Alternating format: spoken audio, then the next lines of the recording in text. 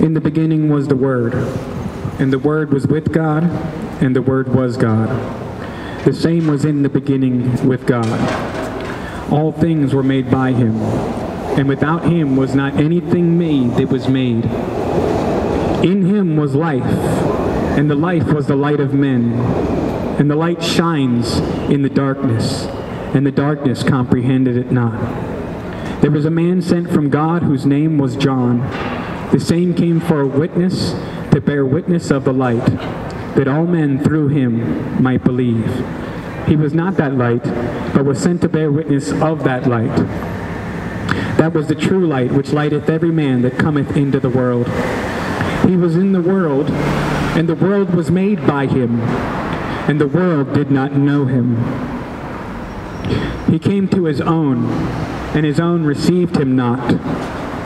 But as many as received him, to them he gave power to become the sons of God, even to them that believe on his name, which were born not of blood, nor of the will of the flesh, nor of the will of man, but of God.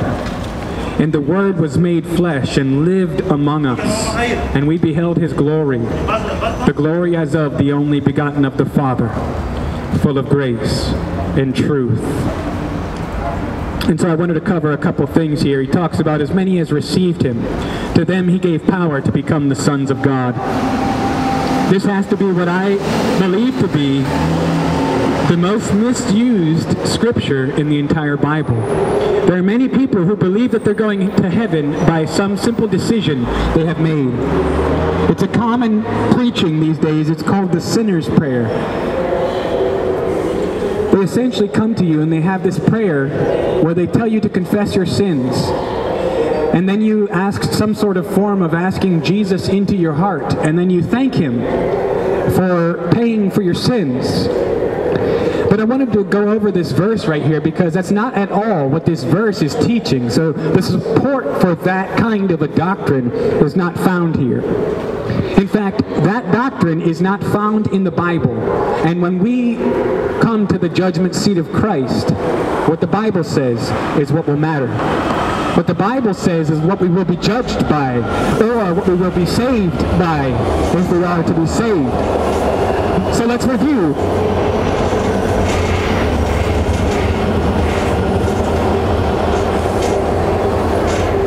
Verse 12 again.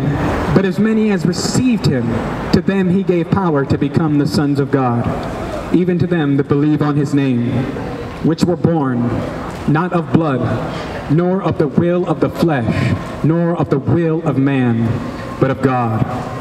And so what is he teaching us here? He's talking about being born, but not being born of the flesh. So in John chapter 3, Jesus said, Except a man be born again, he cannot see the kingdom of God. And again he says, Except a man be born of water and of the Spirit, he cannot enter the kingdom of God. That which is born of the flesh is flesh. That which is born of the Spirit is spirit. So he says here in verse 13, which were born not of blood. He's talking about those that were born again, as in going to heaven, that they've been saved from their sins.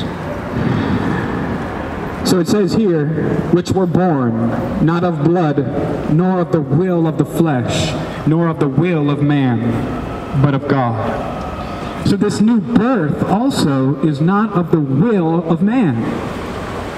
And yet, it seems Sunday after Sunday that's what we teach, right? That man is born with free will, and that by his will he will choose to save himself. It's very common. People pretend as if that's not what we're teaching. But here, the Word of God teaches very, very differently. But of God. So this new birth is something that takes place as a work of grace in the heart. Now this gift is upon the worst among us. This gift is for the lowly, for the broken,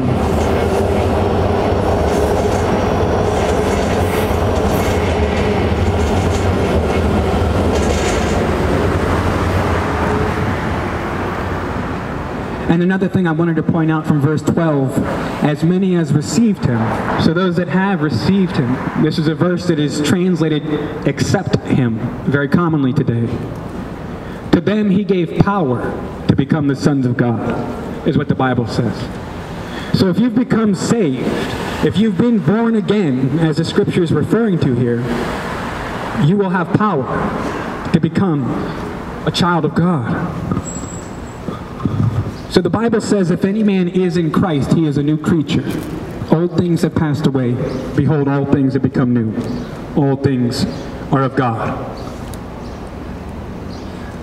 So also, if you have experienced this true salvation, this saving knowledge of our Lord Jesus Christ, you will be a new creature.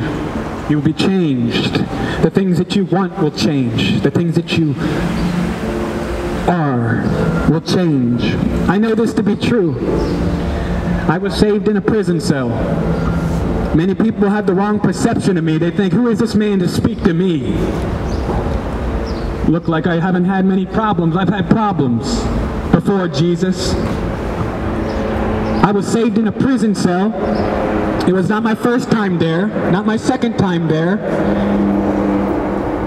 If you count the juvenile system, it was probably around 11 or 12 times in and out. That was my destiny. Because I was a criminal. I like to steal. I like to do drugs. I like to take advantage of people. I like to go and be a womanizer. Lots of things I did, and for this I suffered. For this I suffered. I remember the last time, it was a particularly bad time because everybody left me. Everybody from my family abandoned me. I crossed the line. You know, the, the, the time I went to jail before that, there was commissary. This time, no commissary. This time, no visit. My family abandoned me. My girlfriend left me, abandoned me as well. The court system turned on me. All they wanted to do was terrify me and warn me of the 10 years in prison to come. I had no one and no one to turn to. And it was then for the first time that a man came to me with the Word of God. I sat there puzzling all night. Why was he there to speak to a man like me? Doesn't he know what type of person I am? I knew what type of person I was. Apparently he didn't. And I couldn't figure out why he would spend his time coming into that jail to speak to scum like me. It haunted me. I thought about it all night, about how wicked of a person I am. I found no rest in my spirit. The only time I felt any bit of comfort from the crushing weight of the world around me was when I was reading the Word of God. You see, my family was not there for me. My girlfriend was not there for me. The court system was not there for me, but Jesus was there. He was there.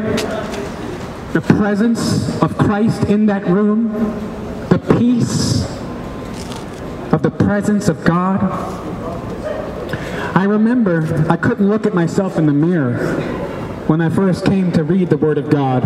It didn't have an immediate effect. Immediately I began to have this mounting sense of guilt about my sin, about the things I was doing. I couldn't look at myself in the mirror. The only thing I could utter was, God, I can't be me anymore. I can't be me anymore.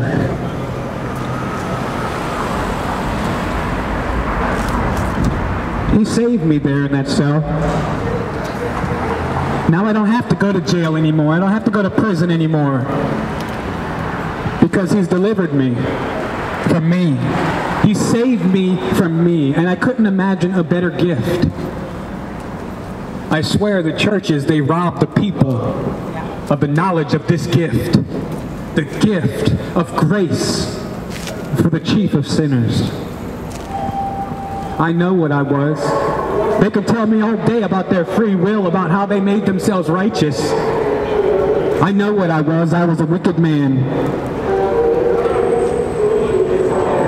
And there, when all I had was tears and guilt and sorrow and the Word of God, All I could think was, God have mercy on me. I knew I was suffering because of my sin.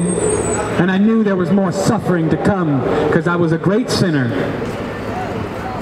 All I could think was, God, I need mercy. Have mercy on me. That's all I could think was to be free from this burden of guilt. To be free from me.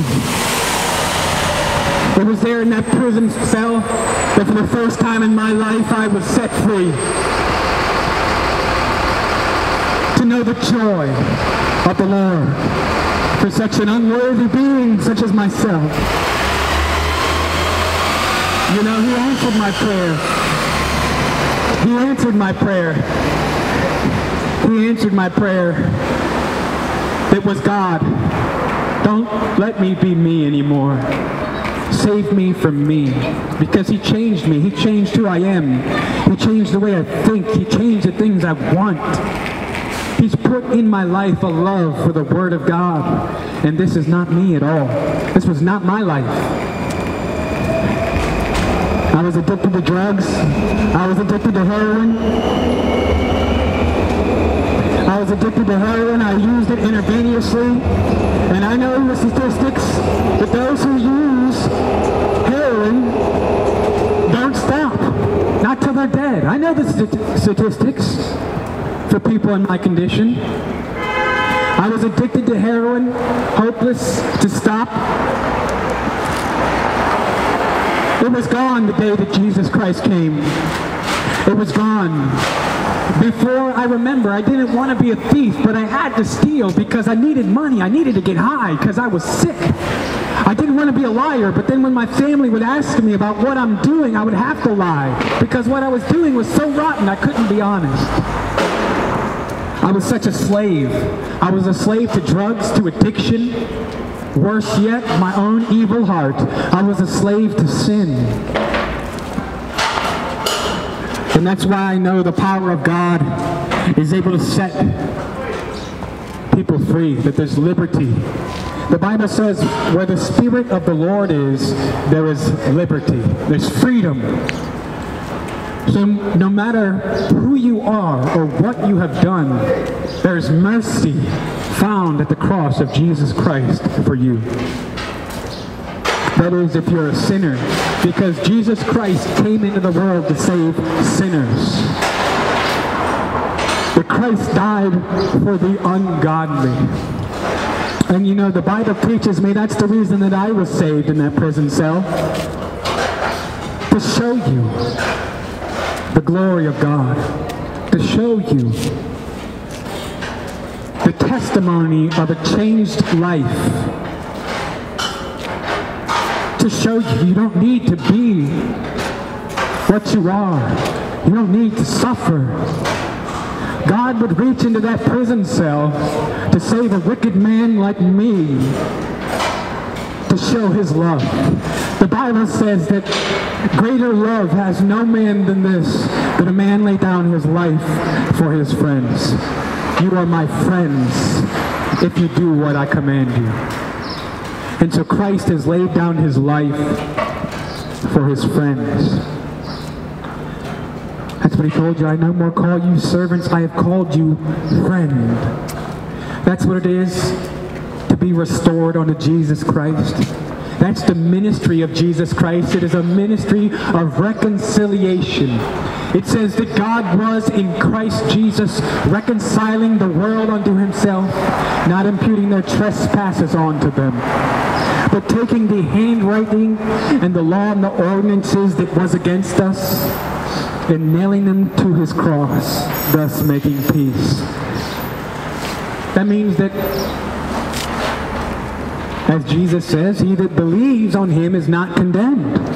But he that believes not is condemned already, because he's not believed in the name of the only begotten Son of God. This is the condemnation that light has come into the world, and men love darkness rather than light because their deeds were evil. Everyone who does evil hates the light and will not come to the light, lest his deeds should be exposed. And so we already began this message explaining that Jesus is the light. Jesus is the light of the world.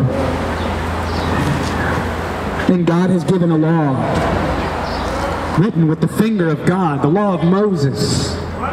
And many people believe that the law has passed away, but Jesus says that one jot or one tittle of the law will in no wise pass away till all be fulfilled.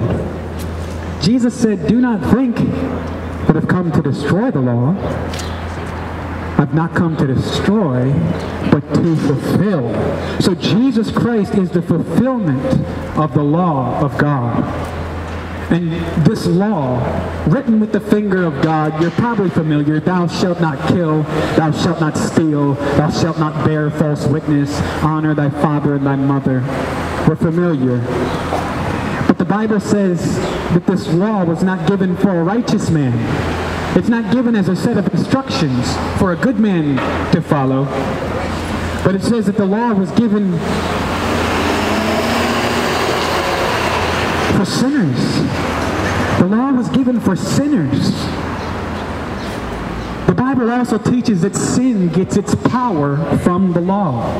That because God has said, thou shalt not steal, we're drawn to it. Because God, God said, thou shalt not covet, we lust. We're driven towards our desires, towards our lusts, like fierce animals. But there is freedom from this condition. There's freedom and there is mercy because that's what it's about. It's interesting on the cross, Jesus was there and crucified with him were two thieves, one on his right hand and the other on his left. And it said they both mocked him as they were on the cross. And eventually one of the thieves came around and he addressed the other thief and he said, Do you not now fear God, seeing we are in the same condemnation, and we indeed justly we receive the due reward for our deeds, but this man has done nothing amiss. So even he saw, even he saw it. Even he saw it. And that's the truth of the law of God. That's the truth of the law of God, is that Christ suffered. Christ was crucified. And the third day he rose again from the dead. Now he was crucified and suffered a criminal's death. He wasn't only crucified, he was also tortured first and beaten and mocked. It said the guards, where they brought him, they kneeled before him, worshiping him, Hail, King of the Jews. They dressed him in purple clothes and mocked him. He died a criminal's death. Why? Well, Jesus said that no one takes my life from me, but I lay it down of myself. I have power to lay it down. I have power to take it again. I lay it down of myself. And so Jesus willingly went forward, suffering a criminal's death, that we could have mercy, that we could be set free, that we can know that gift of grace and truth, that we could be saved. That's how God can have mercy on sinners like me. That's how God can pass over the law or the handwriting that is against us. It's because he has fulfilled the law. He has been crucified as an innocent, spot, without blemish, without sin, so that he could be the perfect fulfillment of the law for those that believe. So when he says, whoso believeth not is condemned already, it's because there's no other name given among men whereby we must be saved. There's no other solution to the law of God. Many religions around the world, they pursue the law of God. They build their religion about the law of God. But Jesus Christ is the fulfillment of this law. And because of his righteous sacrifice, because of his righteous blood, we can have mercy. We can know him. That's what he says in John 17, that this is eternal life, that they might know you, the only true God. You see, Christianity is not a faith in your mind. It's not something you convince yourself of. Not true Christianity. Believe me, there are many forms of Christianity that follow this path. Christianity is now and traditionally been known as revelation. It's Christ revealing himself to a man or a woman. If you become saved in this world, you will know Jesus Christ. You will have an assurance from God. You will not be left wondering, am I saved? Am I not? And it's not simply because you've repeated a prayer. If you've become saved, you will be changed in your very nature. The Bible says that he's translated us from the kingdom of darkness into the kingdom of his marvelous light when we have become saved. So if you've become saved, not only will you know him, that is Jesus Christ, and you will walk with him as a friend.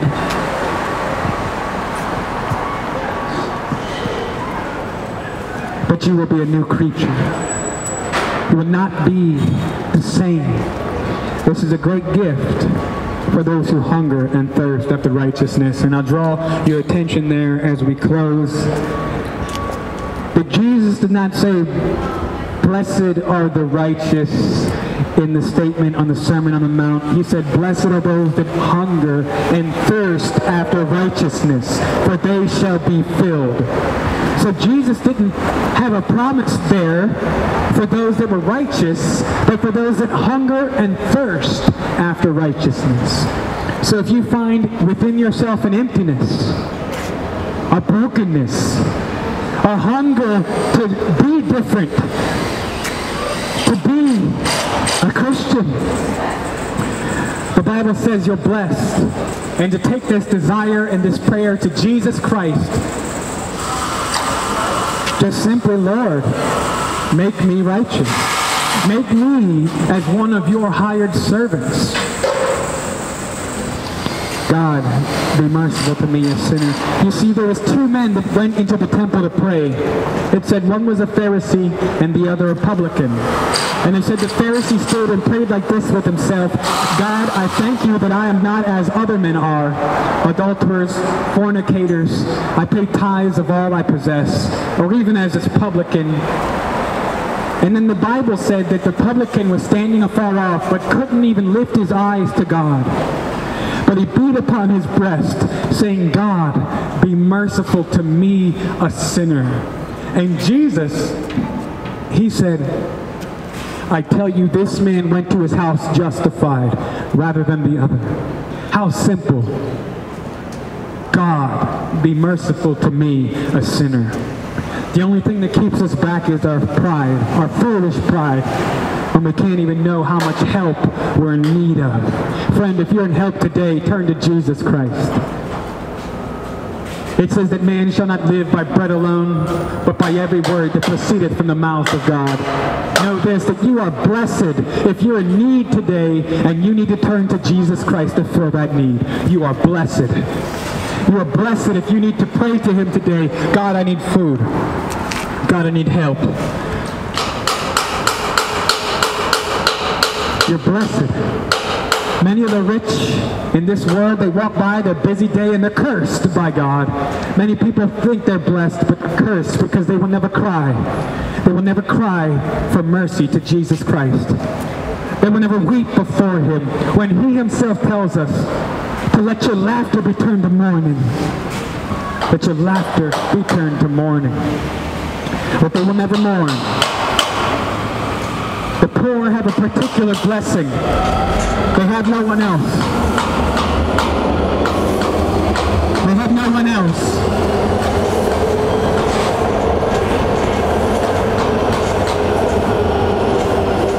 We live in a society in which man will not help you.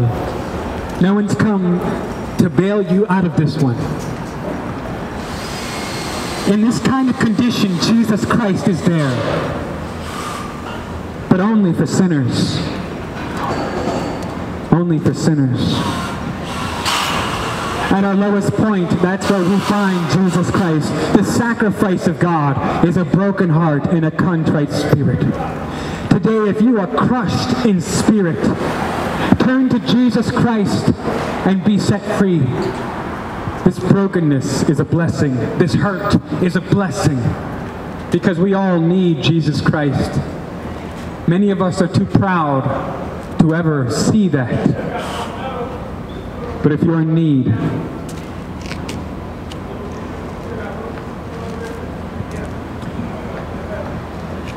it says that God fulfills all our needs. Turn to Him. The Bible says it is your sins that separate you from your God. That it is your sins that separate from you from your God. God demonstrates his love toward us and that while we were yet sinners, Christ died for us. It goes even further. It says, for a righteous man, some might dare to die. Some might dare to die for a good man. But God shows us his love. He demonstrates his love in that while we were yet sinners, Christ died for us. So his message today is, Come unto me, all you who are weak and heavy laden, and I will give you rest. Take my yoke upon you and come and learn from me. My way is easy, my burden is light, and you shall find rest for your souls. What a great promise. How many of these people today, they're hungry, they're filled, they have a roof on their head, but they don't know rest. They don't know peace. They don't know the joy that can be found in Jesus Christ. For this, you don't need riches.